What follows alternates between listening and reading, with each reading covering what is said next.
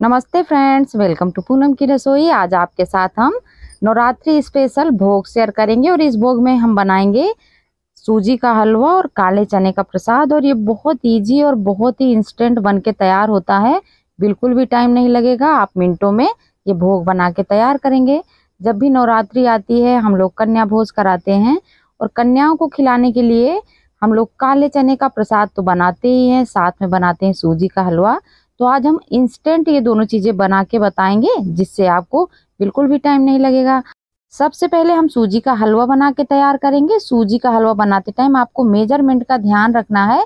Measurement अगर आपने ध्यान से डाल दिया तो फिर ये हलवा इतना टेस्टी बनेगा कि आप पूछे मत। तो हमने आधा कप लिया चीनी, आधा ही कप ले ली सूजी। मैंने मोटी वाली ही सूजी ली है और इसी के साथ आधा कप ले लिया देसी घी। दो टेबल स्पून रूम टेम्परेचर पे दूध ले लिया है और आप कच्चा या पका दूध कोई सा भी ले सकते हैं। इसी दूध में हमको डालना है कुछ केसर के धागे और इसको हम बाद में यूज़ करेंगे तो आराम से केसर को गलने देते हैं और अब हम चलते हैं गैस की तरफ़। ये देखिए हमने गैस को कर लिया ऑन और इसी में रखेंगे कढ़ाई और हमने आधा कप जो घी लिया था ना उसी घी को अभी इस कढ़ाई में डाल देना है और घी को गर्म कर लेना है। बहुत हाई टेम्परेचर में गर्म ना करें, मीडियम गर्म घी रहने दें और इसी घी में हमको डालना है काजू और बादाम। आप अपने हिसाब से कोई भी ड्राई फ्रूट ऐड कर सकते हैं तो हम इसको हलवा में बाद में यूज़ करेंगे। तो मैं इसको अभी सेक लेती हूँ। अगर आप काजू बादाम पसंद है तो आप डालें, या फिर जो भी ड्राई फ्रूट पसंद है, आप वो सारे ड्राई फ्रूट डाल सकते हैं। कुछ ड्राई फ्रूट नहीं पसंद तो उनको स्किप कर सकते हैं। और ये देखिए, हमने सेक के तैयार कर लिया। ये देखिए, बस आपको इतना ही सेकना है। इससे ज़्यादा डार्क नहीं करना। हमने जो आधा कप सूजी ली थी ना, उसी घी में हमने ये सूजी भी डाल दी और सूजी को हमको अच्छे से गोल्डन कलर की होने तक सेकनी है। मैं आपको दिखाऊँगी। सूजी आप जब सेके लो टू मीडियम फ्लेम में ही सेके। अगर हम सूजी को हाई फ्लेम में सेकेंगे तो सूजी जल जाएगी, अच्छे से सिकती नहीं है। तो सूजी को हमेशा लो टू मीडियम फ्लेम में ही सेके। मैंने सात मिनट तक सूजी को लो टू मीडियम फ्लेम में सेक लिया है और आपको पास से दिखा रही हूँ कितनी दानेदार दिख रही है ना, कितने अच्छे से कलर इसका चेंज हुआ है, गोल्डन कलर की हो गई है। अब हमको लेना है वही मेजरिंग कप जिससे हमने सूजी मेज़रमेंट करी थी। तो हमको तीन कप पानी ऐड कर लेना है। आपको ये चीज़ ध्यान रखनी है कि जब भी आप सूजी का हलवा बना रहे हैं तो सूजी, चीनी और घी की क्वांटिटी बराबर होनी चाहिए और पानी की तीन गुना होनी चाहिए। तो ये देखिए, हमने पानी ऐड किया और इसी के साथ मैं डाल दूँगी खड़ी इलायची। इस बार हम इलायची का पाउडर नहीं यूज़ करेंगे, इलायची डाल देते हैं। पानी डालने के बाद हमने सारी चीज़ें मिक्स कर दी। इलायची भी इसी में डाल दी थी लीड लगा के एक मिनट तक मीडियम फ्लेम में सूजी को पकने दिया और देखिए, मैं आपको अब लीड हटा के दिखा रही हूँ कितने अच्छे से सूजी फूल गई है। पूरा पानी ख़त्म हो गया है और ये देखिए, हमने कर दिया वापस मिक्स अभी हलवा बन के तैयार नहीं हुआ, लेकिन हमारा एट्टी परसेंट तक हलवा कुक हो गया है। एक बार आप इस तरह हलवा बना के ज़रूर देखें, आपको बहुत ज़्यादा पसंद आएगा। और ये देखिए, हलवा बहुत ही अच्छा दिख रहा है, बहुत अच्छी खुशबू आ रही है। अब हम इसमें ऐड करेंगे चीनी। हमने आधा कप चीनी पहले लिया था, आपको मैंने दिखाया था, वही चीनी मैंने ऐड कर दी। चीनी को हमको करना है मिक्स और इस टाइम पे आप फ्लेम को मीडियम ही रखें। और ये देखिए, चीनी भी हो गई मिक्स अब हमको ऐड करना है ड्राई फ्रूट। हमने ड्राई फ्रूट सेक के रख लिए थे, वही हम इस टाइम पे ऐड करेंगे। आप खीर, हलवा जब भी बनाएँ, ड्राई फ्रूट हमेशा सेक के ही डालें। स्वाद बहुत ज़्यादा इनहेंस हो जाता है। ड्राई फ्रूट को हमने कर दिया मिक्स फ्लेम अभी हमारी मीडियम ही है। तो चलिए, अब हम चलते हैं एक नेक्स्ट प्रोसेस की तरफ़। फिर से हमने लीड से कवर किया और एक मिनट के लिए वापस मीडियम फ्लेम में हलवा को पकने देंगे। एक मिनट बाद वापस मैंने हलवा को चला दिया। और हलवा हमारा 95 परसेंट तक कुक हो गया है। अब हम इसमें ऐड करेंगे। लेकिन अभी पूरी तरह से पका नहीं है। आपको इसमें कुछ चीज़ें और ध्यान रखनी है। तो चलिए, अब हम इसमें ऐड करेंगे केसर वाला दूध। हमने स्टार्टिंग में केसर गला दी थी। केसर भी गल गई है। केसर का दूध डालते ही दो चीज़ें होंगी। एक तो हलवा में टेस्ट बहुत अच्छा आएगा और केसर डालने से हलवा का कलर बहुत अच्छा आता है। तो ये देखिए, हमने केसर डाल के सारी चीज़ें मिक्स कर दी। अब आप हलवा का कलर देख सकते हैं। धीरे धीरे चेंज हो रहा है। हल्का सा गोल्डन कलर का हो गया है। ये देखिए, बहुत टेस्टी लगेगा खाने में और देखने में बहुत सुंदर, एकदम बाज़ार जैसा हलवा लगेगा। ये देखिए, घर में आपने कितना टेस्टी हलवा बना के तैयार कर लिया। दानेदार हलवा बना है। मैं आपको पास से दिखाऊँगी। ये देखिए, बिल्कुल मुँह में पानी आ जाएगा। एक एक दाना इस हलवे का खिला खिला है। ये देखिए, अगर आप इस तरह से बनाएँगे ना, आपका भी हलवा बहुत टेस्टी बनने वाला है और आप पूरा चट कर जाएँगे। इतना यमी बना है।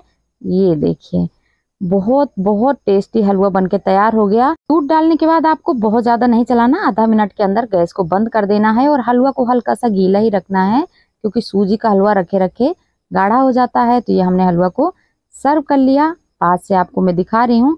अब हम चलते हैं मसालेदार चने बनाने के लिए, जो कन्या भोज में बहुत ज़्यादा ज़रूरी होते हैं। हम कंचक को खिलाते हैं। तो सबसे पहले आपको चना गलाने का ध्यान रखना है। चने छः से सात घंटे के लिए कम से कम गलाने हैं। चने अच्छे से गले होंगे तभी चने बहुत टेस्टी बनते हैं। मैंने आधा कप चने सात घंटे के लिए गला के छोड़ दिए और चने अच्छे से गल गए हैं। तो चलिए हम आज इंस्टेंट चना बना के तैयार करेंगे। उबालने की झंझट ही नहीं रखेंगे। तो इंस्टेंट चना रेसिपी आप ज़रूर देखते रहें।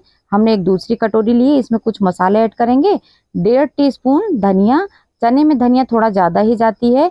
इसी के साथ कश्मीरी लाल मिर्च इसमें तीखापन बहुत कम होता है। चौथाई चम्मच हल्दी और एक चम्मच अमचूर पाउडर। अब हमको आधा कप पानी इसी मसाले में ऐड करना है और सारे मसाले हमको कर लेने हैं मिक्स।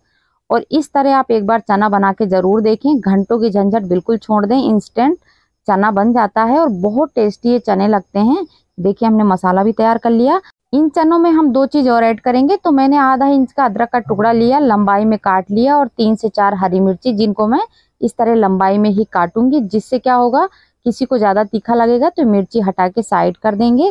तो आपको मिर्ची इसी तरह काट लेनी है।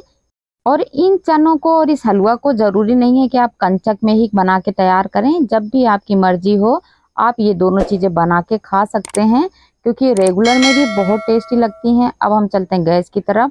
फ्लेम ऑन करी और रख दिया इसी में कुकर। जब भी आप ये चने बनाएँ, कुकर में ही बना के तैयार करें और हमने दो से तीन टेबल स्पून डाल दिया ऑयल और ये देखिए, तेल गरम हो गया। अब हमने लिया एक चम्मच जीरा और थोड़ी सी हींग। बिल्कुल आपको एक से दो पिंच ही हींग लेनी इसमें हींग ज़्यादा नहीं जाती।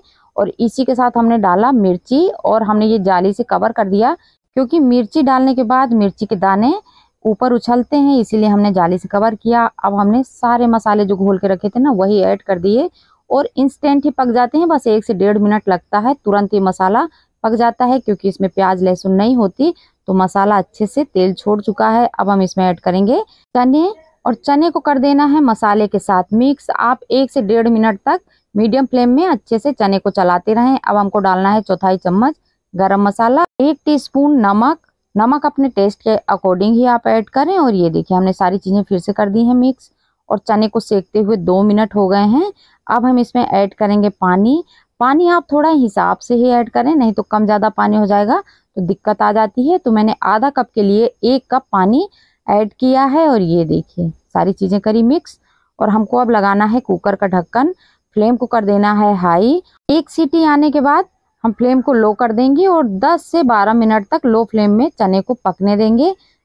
चलिए हमने चने को तो रख दिया पकने के लिए और चने पक के तैयार भी हो गए हैं। तो हम चेक कर लेते हैं कि चने कितने पके हैं। ये देखिए ये देखिए, लेकिन चने पक तो बहुत अच्छे से गए हैं। चने में थोड़ा सा पानी बचा है तो आप बिल्कुल भी टेंशन ना लें, इतना पानी बचेगा ही बचेगा। लेकिन मैं आपको पास से दिखा रही हूँ, चने कितने अच्छे से पके हैं। देखिए, पूरा चना हाथ लगाते ही फूट गया और इस पानी को तो अब हम फ्लेम को कर देंगे हाई और चने को अच्छे से चलाते हुए पानी को सुखा लेना है, जिससे बहुत सौंधापन आएगा चने में और बहुत टेस्टी चने बन के तैयार होंगे। तो हमने फ्लेम को हाई कर दिया और देखिए, देखते ही देखते पूरा पानी सूख गया। एक मिनट के अंदर ही पूरा पानी सूख गया है और चने बन के तैयार हो गए। इस टाइम पे आप इसमें अदरक के टुकड़े मिक्स कर सकते हैं, लेकिन मैं अलग से ऐड करूँगी क्योंकि जिसको तीखा लगेगा, वो हटा के साइड कर देंगे और इसमें आप धनिया पत्ती भी ऐड कर सकते हैं। तो देखिए, हमने फ्लेम को कर दिया ऑफ़। और अब हम सर्व कर लेते हैं। हमारे चना और हलवा बनके तैयार हैं। इस नवरात्रि आप यही भोग बना के ज़रूर अपने कन्याओं को खिलाएँ। उनको बहुत ज़्यादा पसंद आएगा और इसमें बिल्कुल भी ज़्यादा तेल मसाला नहीं है। बहुत सिंपल तरीके से इंस्टेंट हमने दोनों चीज़ें बना के तैयार करी। आपको ये रेसिपी कैसी लगी मुझे कमेंट करके ज़रूर बताएँ। मेरे चैनल को सब्सक्राइब कर लें। वीडियो पसंद आया हो तो शेयर कर दें। फिर मिलते हैं आपसे एक नई रेसिपी और बहुत सारी किचन टिप्स के साथ। तब तक आप अपना ध्यान रखें। Take care. Bye bye